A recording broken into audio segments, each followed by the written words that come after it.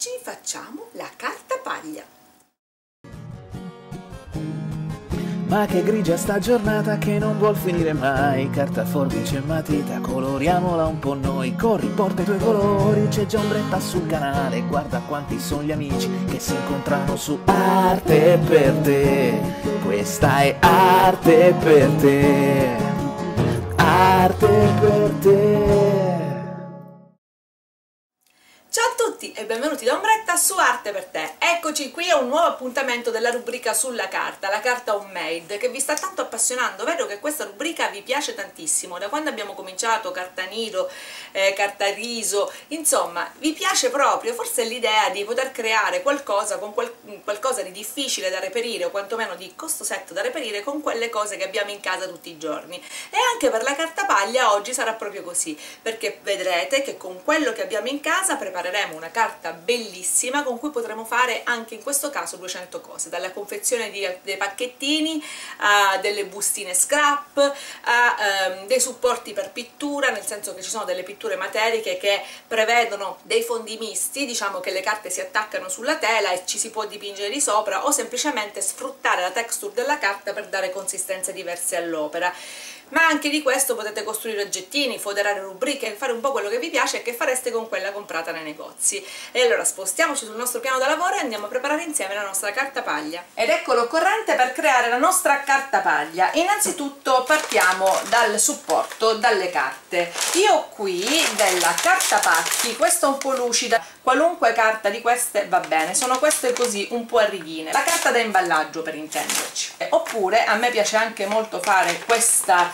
eh, questo tipo di carta con le buste, queste color cartone, le buste naturali, dei supermercati molto spesso però si trovano con i loghi dei negozi vabbè, che andrete a scartare. Oppure se usate l'interno e non vi interessa questa parte cioè se la carta per esempio dovete appiccicarla da qualche parte quindi un lato non si vede potete usare l'interno ed è tutto recuperabile. Quindi è un progetto pieno di riciclo e di utilità. Dopodiché ci occorrerà una colletta fatta al 50% di acqua e al 50% di vinavi quindi preparatela in un bicchierino non tantissima poi un pennello, possibilmente piatto, un paio di forbici eh, e dei eh, colori che si acquerelli che si avvicinino come tono di colore alle tonalità della nostra carta pacchi. Ho preso qui un ocra, un terra di siena. Vanno bene entrambi, io li miscelerò perché le mie carta pacchi stanno in mezzo a queste due tonalità. Della raffia naturale, un pochino di raffia che naturalmente non ci sarà bisogno di comprare a rocchetto, io le ho perché ci lavoro,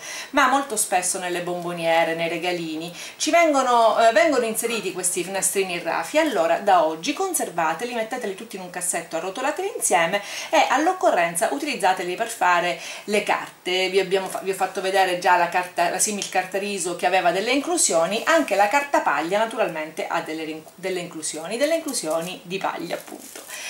Ehm, dei tovagliolini di carta e un piattino. Cominciamo subito. Ritaglio la parte della carta che mi interessa dalla busta quindi la depuro da loghi, loghini e tutto quello che c'è. Mi ricavo un pezzo di carta. Ricavo la mia carta e la metto da parte. Quindi prendo la raffia pochina, non tantissima, veramente pochina.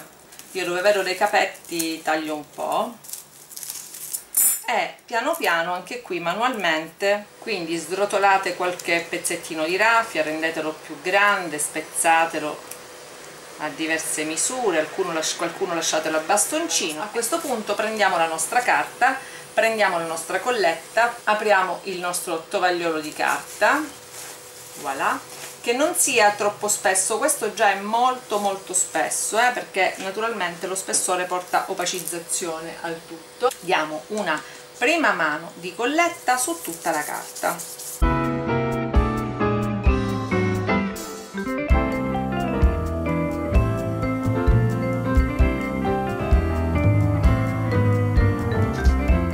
Versate un pochino di paglietta col pennello poi ad uno ad uno assicurate i pezzetti sulla carta quindi ripassateci abbondantemente.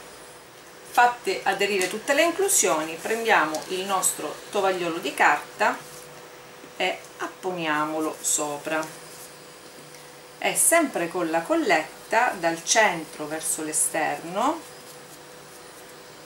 Imbibbiamo ben bene facciamolo prima con la colletta al naturale questo lavoro perché la prima parte che serve soprattutto per far rimanere i pezzi al loro posto diciamo così. Perfetto. A questo punto prendiamo i nostri colori acrilici e creiamoci un colore che sia simile a quello della nostra carta.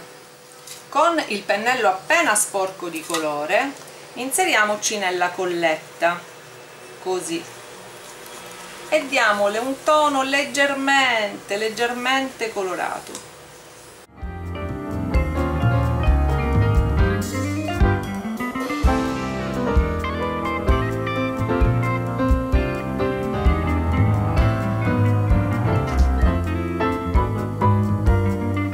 Benissimo. A questo punto non ci rimane che fare asciugare ben bene il tutto e vedere alla fine il risultato che ne verrà fuori? Adesso facciamo quella con la carta pacchi e questa la mettiamo ad asciugare. Prendiamo la nostra carta pacchi eccola qui. Tanto si appiccicherà al fondo che è già sporco. Spennelliamola. Io qua la spennello già con la colla leggermente colorata tanto non cambia assolutamente nulla. Ok fatto ciò come prima le inclusioni. Su tutto come prima incolliamole. Qui sono più abbondante di colla perché questa carta è meno porosa della precedente e quindi per far stare fermi i pezzi devo aggiungere più colla ma questo lo vedrete lavorando. Dipenderà molto dai tovaglioli di carta che usate da appunto la carta pacchi che grammatura ha, si può fare con tutte, cambia naturalmente la copiosità di colla da mettere. Prendo il tovagliolino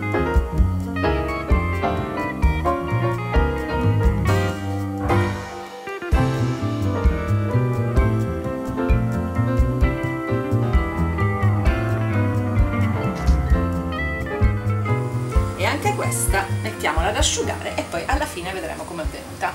Ed ecco qui le nostre paglie dopo una completa asciugatura. Ora non ci rimane completa questa non è ancora del tutto completa ma voi lo sapete che io ho una fretta matta quando sto con voi quindi questa poi la andiamo a spezzettare tutta a mano tagliare il bordo così ed è pronta per essere utilizzata in 2000 lavoretti. Eh, queste inclusioni bianche sono bolle d'aria. Se volete io naturalmente facendo tutti questi lavoretti con un'estrema fretta non vado che ci siano tante bolle d'aria ma se dovesse succedere alle vostre basterà ripassare di sopra con altra ehm, colletta e eh, magari sporcata. Sì sporcata un po' di colletta di quella sporcata con il colore e verrà perfetta come in tutte le altre parti. Immaginate immaginate lo usate in tantissimi lavoretti di creatività. Noi la useremo presto, eh, presto noi la useremo molto spesso mm, credo eh, per Natale. Eh, potremmo fare anche dei conetti decorativi per ehm, il riso delle bomboniere per il riso degli sposi o dei conetti per delle bomboniere da neonato come vi ho fatto vedere nella cesta che cliccando qui troverete. Insomma utilizzate queste carte che vi faccio vedere come meglio la vostra fantasia vi suggerisce. Adesso io le ripulisco tutte vi lascio alle foto e noi ci rivediamo di là. Che ho ancora qualcosina da dirvi.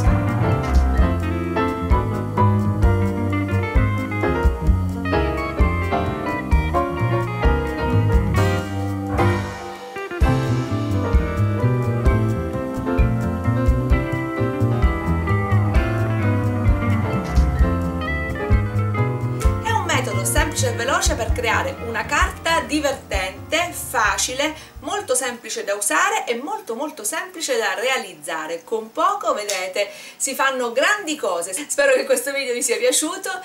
Se è così mi raccomando un bel pollice in su anche di carta va benissimo. E, e condividete questo video se pensate che possa essere d'aiuto a qualche vostro amico o qualcuno che conoscete che mi rimane da dirvi? Lasciatemi tanti commenti in modo che io possa parlare con voi e rispondere a tutti i vostri commentini, vi aspetto anche su Facebook e su Instagram, di cui vi lascio i link qua sotto, li chiacchieriamo in tempo reale continuamente e noi ci rivediamo al prossimo video. Vi mando un grande bacio da Ombretta e da Arte per te è tutto, arrivederci al prossimo video!